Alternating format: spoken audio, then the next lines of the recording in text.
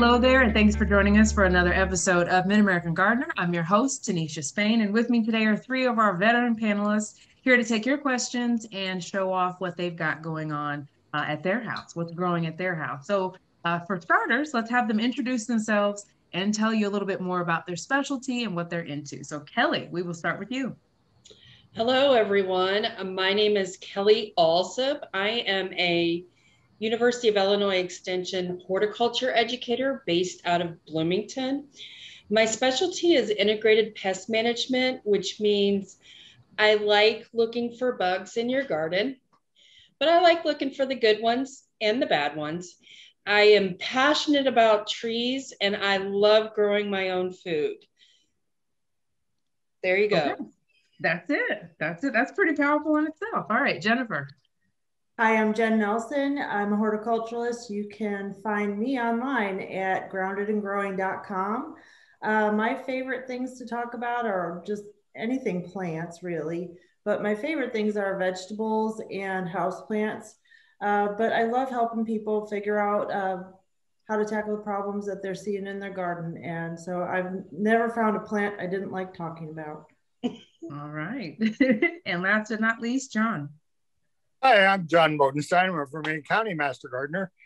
And I guess I like a little bit of this, a little bit of that. I've gone into, uh, I'm, I'm a volunteer teacher at Schlarman High School, so I'm getting into their greenhouse a little bit.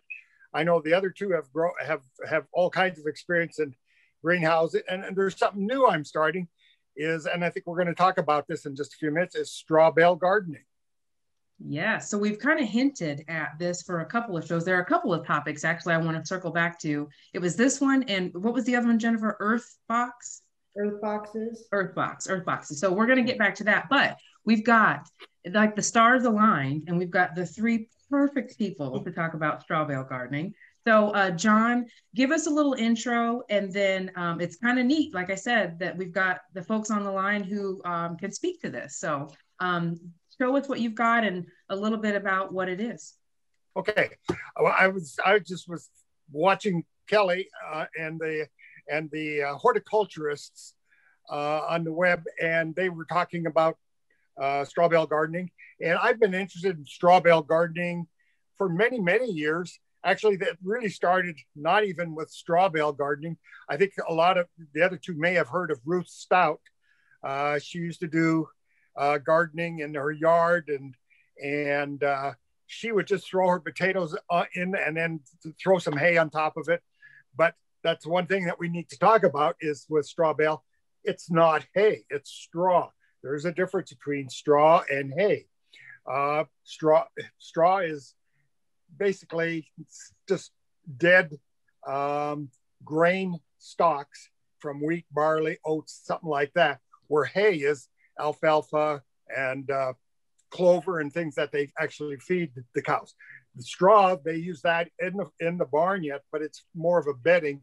But for us um, that have limited space or our ground is, is not uh, what we want, um, straw bale gardening is an alternative. I know Kelly knows a lot more about this than I do, but uh, I just thought this was something that was so interesting that I've been hauling hay or I've been hauling straw now to the to the school and we're getting set up because the main thing I guess one of the biggest challenges is the 12 days prior to planting.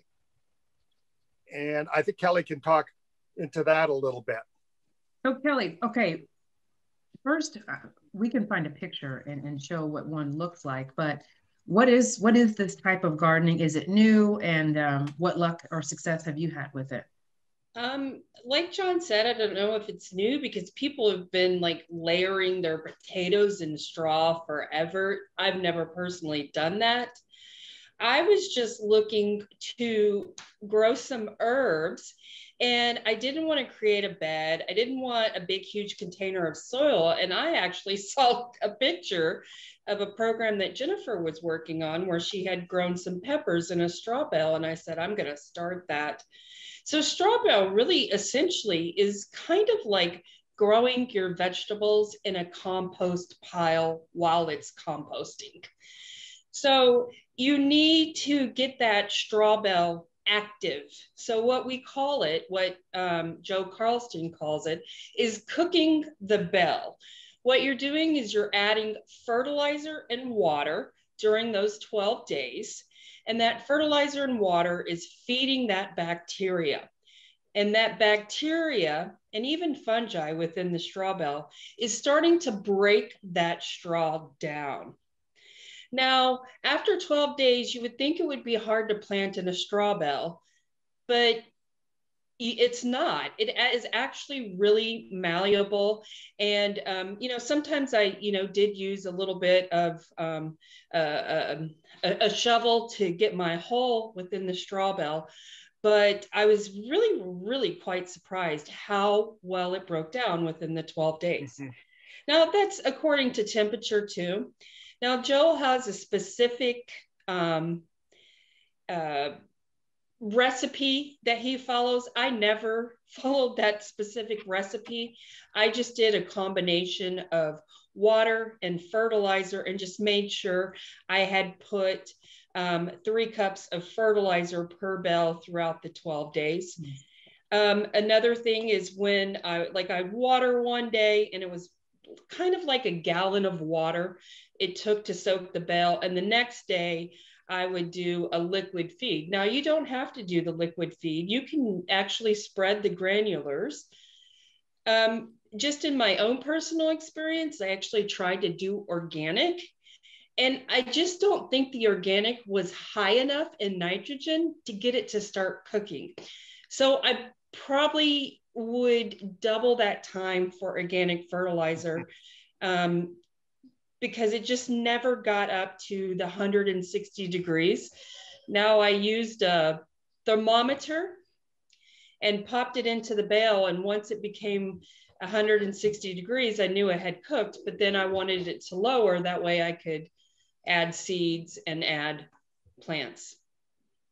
Wow. So Jennifer, I'm gonna have you pick it up from here. So we've got the method, we've got cooking. So you, after, when you reach the 160, then what do you do? You let it cool, I heard Kelly say, and then you actually put the seed in and just treat it like a garden? Yeah, my my experience, we actually had our bale in a wagon. It was mm. supposed to be portable for the master gardeners to take to farmers market and show people. Um, we just kind of used a shovel and just made a little kind of parted the straw and just stuck the whole root ball in. Um, I'm not sure if that was exactly how you're quote unquote supposed to do it, but it's what worked for us. We had a really hard time with the cooking, the cooking part that Kelly's describing. Um, for I looking back at it, it's been a while since I did it, but I think our location was particularly difficult. We were um, trying to do this on the edge of our parking lot. So we had a, in a wagon. And so we had so much reflected, reflected heat and we just couldn't keep that bale wet. Like we would, mm. I mean, I was so kind of surprised. Kelly was saying only a gallon was able to saturate her bale. We would just like pour the hose on it, and we just could not keep it keep it saturated. And we thought, you know, well, all that straw is just like like almost like a soda straw, so it's just mm-hmm. pouring mm-hmm. right through. And we were doing the fertilizer and everything and I don't know, you would think that the heat would help cook it, help get all those microbes going, but I think it was too much of a good thing. And mm. I mean, we got it, we got it working, and it, it, wasn't the dramatic, wonderful thing that I've seen other people put together. Like when I saw Kelly's after she got it up and running, it looks so much better than what we did. But I think that just goes to show that even the most novel method is not going to mm-hmm. going to pan out if you don't have a good spot for it. And I, I just think really that spot that we had was not not ideal. It was just there's a limit on life, and you can't have 130 degrees reflecting off blacktop nonstop. So can you do this with seeds, or do you guys use nursery plants, um, or any do, experience with seeds? You can do both. You can do either one, and for certain things, uh, Joel has said that he actually liked doing seeds better, and others, you know, the the the like tomatoes and things like that. He actually liked um, plants. And the thing to do is, you've got to get know what your vegetables want. Like if they are full sun, you're going to make sure that that bale is going to be in full sun. And, and there's, he's got all kinds of different uh, layouts, whether you do one bale, two bales, 10 bales, 15 bales, 25 bales. You, you want to have it laid out so that the north side is where you have your tall plants. So, so the sun is still hitting that. And he mm-hmm. says to run them north and south so that you can have a little bit better. One of the, you know, it's, it's kind of detailed. Um, you know, like just one little thing that I remember him talking about was use temperate temperate water. Don't use cold water when you water your bale because it kind of sets the microbes back a little bit when you oh, soak okay. them. So, you know, so we're going to have a, a large 55 gallon barrel of water that will be room temperature or that we're going to water with every day for those 12 days to get the microbes to do a little bit better. But one of the other books is container vegetables. So if you can grow it in a veg in a container, you can probably grow it in a bale. So, but then, you know, he's got there's a lot of standards. How many how many tomatoes can you put in a bale? How many? That's peppers? what I was going to ask. How many do, do the still do so the planting got, distances still apply if you're correct. in a bale? It does, and maybe even a little bit more.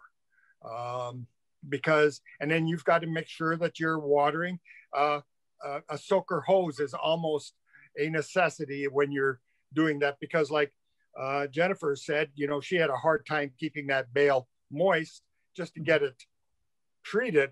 Well once you have your plants in there you can't have uh, your tomatoes going dry. You're going to end up with blossom end rot so it's very important that you use a soaker hose than an overhead because that's the last thing you want to do is be getting water on your leaves. And it's the mm-hmm. same thing that you do in your regular garden, only maybe amplified a little bit the problems in the straw bale gardening. So yeah. it, um, you know, it's something I'm going to enjoy. The kids are really excited about it. They're they're uh, picking out their plants. We've got seeds started.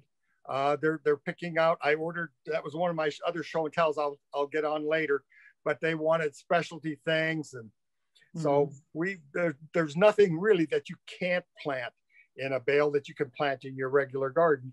And I know Kelly did flowers, she did vegetables. You can plant, as some people have had more difficult planting on the side so that you don't have a uh, a, a, a, bad looking bale, mm-hmm.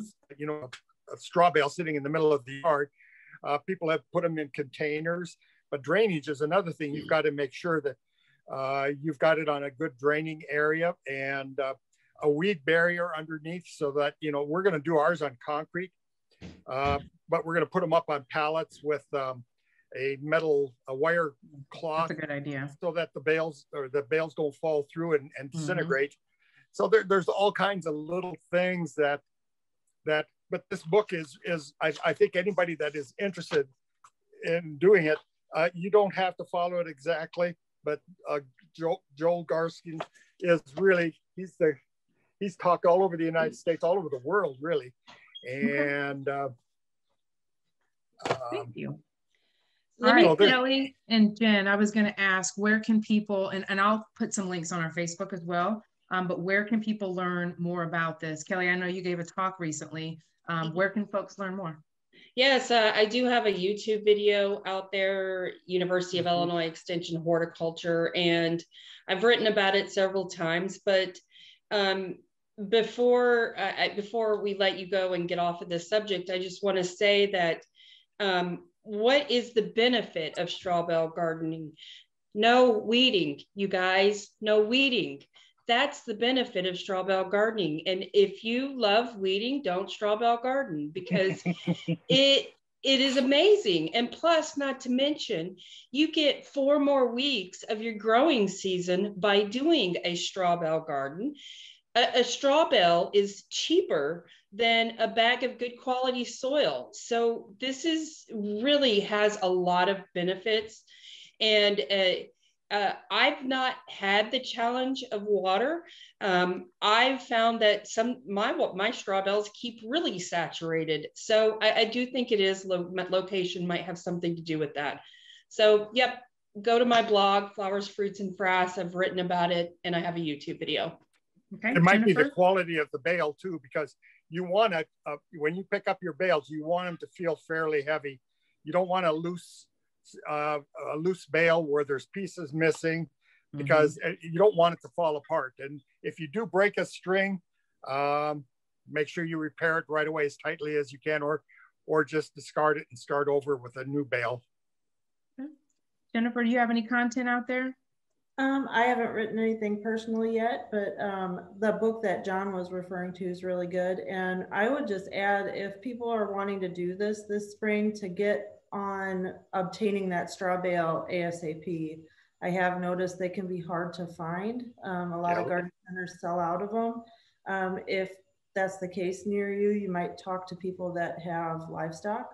Sometimes they have straw um, that they'll uh, part with. Um, depending on the year, sometimes it's harder to get than others, but definitely make that decision and go forward as soon as possible.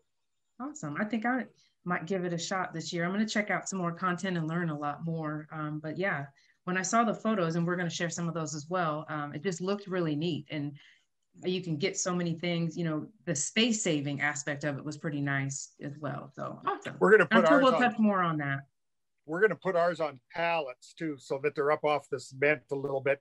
And like I said, we're going to put that metal cloth so that it doesn't fall through. And and mm-hmm. hope, we're hoping that it gives us a little bit of mobility. The main thing is you want to locate your bales before you start wetting them where you're going to keep them because it's once they're wet they are very difficult and heavy to move right now when they're when they're dry they're easy they're they're maybe 20 pounds i don't know something like that 20, 25 pounds. But once they're wet, they can be very, very heavy. So depending on what you're planning, make sure that you have them where you want them and they're going to stay there. And once you're done, you can put the, once they fall apart, you can put the bales in, in your compost pile because it's really good. It'll be mm-hmm. half composted already, but it's good. We always need brown matter in the middle of summer. So mm-hmm. awesome. Thank you guys. That was great. Great discussion. And we're going to keep, uh, keep on those because I know a lot of people are going to be interested. So um, Kelly, we've got a few show and tells. We've got about 10 minutes left. So let's get some of those. Uh, what, what'd you bring us today? Um, what did I bring? Um, well, uh, it's the day after Valentine's Day. Look at these gorgeous roses. Ooh. So if you were to take your roses out of your water and you look here, you see all this stuff floating in it, right? Okay. So all that stuff floating in that water is going to grow bacteria. And that bacteria is going to slowly kill, not slowly, quickly kill these roses. So what I want you to do is, you know, someone you love got you these beautiful roses. I want you to change the water every day. Well, usually a little package of floral food comes with you. I usually use that one up right away and I need to make my own. So I'm going to use uh, one quart of warm water. I'm going to put one teaspoon of sugar, two teaspoons of lemon juice. Why lemon juice, Kelly? Because I am trying to lower the acidity of the water and it'll actually, the plant, the flowers will take it up and one teaspoon of bleach. Yes, bleach. So I'm going to do that in warm water. The warm water is going to be taken up by the uh, flowers faster, plus it's going to dissolve the sugar. So if you change the water daily and actually make this homemade recipe, you can add five, ten days onto this arrangement. Otherwise, they're probably going to start dying here in three to four days. Another thing I do is recut the stems, just opening that stem back up so it'll take up that water. Great advice. So everybody can get some extra miles on their on their Valentine's flowers. Thank you, Kelly. All right, Jennifer, what do you have for us? I brought uh last one of the last times I was on, I had all these baby houseplants. And so I've been slowly potting them up. And this one I don't know if it'll show up very well. This is called silver squill, and mm. it's related to hyacinth of all things, but it's if you lived in a warmer part of the country, you might plant it out um, as a ground cover. But in Illinois, it's a house plant. It's one of those that is considered to be one of the more indestructible house plants. Although I can say I killed it as a new mom because I totally forgot about it for months on end and I killed it. Uh, but they um, they have kind of this it looks like a bulb at the base and that you can see there's little baby ones kind of coming out and that's how it will fill up this pot. But what I love about it is it has really pretty silver foliage and it's one of those houseplants that you don't have to fight it to get it to bloom. It will bloom pretty much nonstop. And it has a teeny tiny white flower. So it's nothing huge, but it's a flower in February. Flower. so that's good. Um, and it, it can take a, a, fair amount of neglect. I will say absolutely forgetting about it for six months was a bad idea, but you know, it's, it takes very little water. Um, it's one that you want to keep on the dry side. Um, and it will reward you with constant flowering. So it's it's a winner in my book. It's also every part of it's poisonous. So if you have cats um, or kids or some that are going to be chewing on this, um, I would put it up out of their way.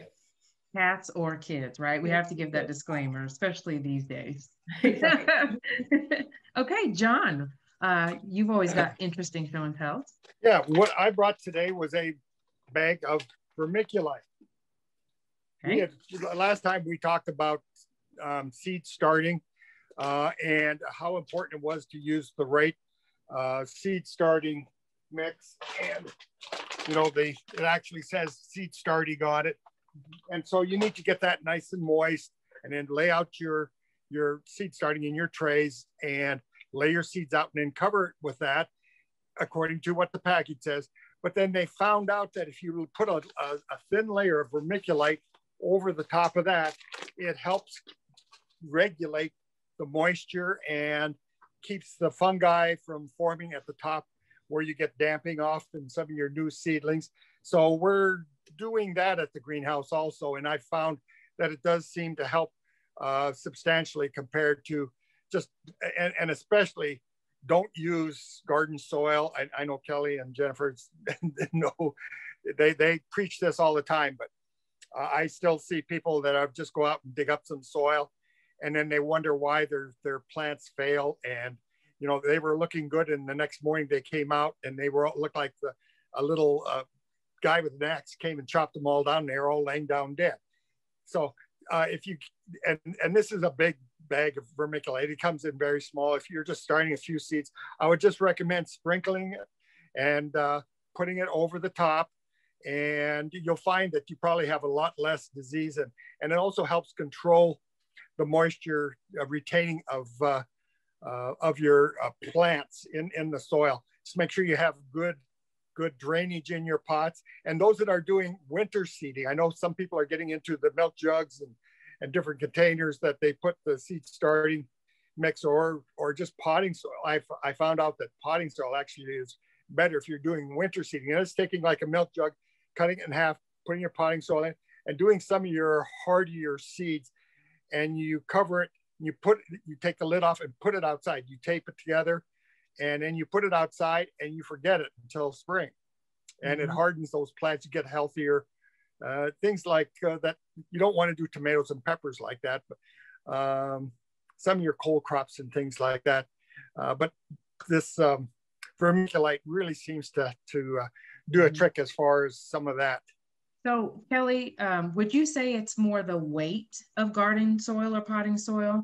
Why, you know, just for folks who are brand new learning, why do we need to get the seed starting mix versus what we have laying around or, or something like that? Because I want to be in full control. because what happens with garden soil, you know, um, when you get it wet, it just stays wet. And I mean, even though you never want seed to dry out too much, it cannot sit in water like that. And so I think garden soil just holds water a little bit more. And, um, you know, plus it has the clay in it that the roots don't really, you know, if you think about it, you look at the, soilless media at a greenhouse and you just want to put your fingers in it, right? But the dirt in the backyard, it has a lot of clay in it, and so the roots don't really love to to expand out in it. So uh, um, just that high quality soilless mix is better. I I never skip on quality soil and fertilizer. I will buy the cheap plants at the box stores like that but never will I buy cheap soil and cheap fertilizer. I always go for the top quality. All right. And we're going to end it on that note. Great advice to live by. you can go cheap on the plants, but certain things you just can't skimp no. on. I like that. All right, guys. Thank you so much for your time and talent. We're going to definitely uh, keep in touch with you on the straw bale gardening. Um, I think that you know, last year we had so many folks outside for the first time gardening, and now maybe a little bit more adventurous. So we, we, I want to follow this progression with both of you and hopefully get out and get some more uh, on the scene sort of shows done um, and really get into it this year and show people what to do and how to do it. So thank you so much for coming. Thanks for bringing uh, your show and tells. And thank you for sending in your questions. And we will post more information about the Straw Bale Gardens on our Facebook. Um, you can find that information there. And we will see you next time. Good night.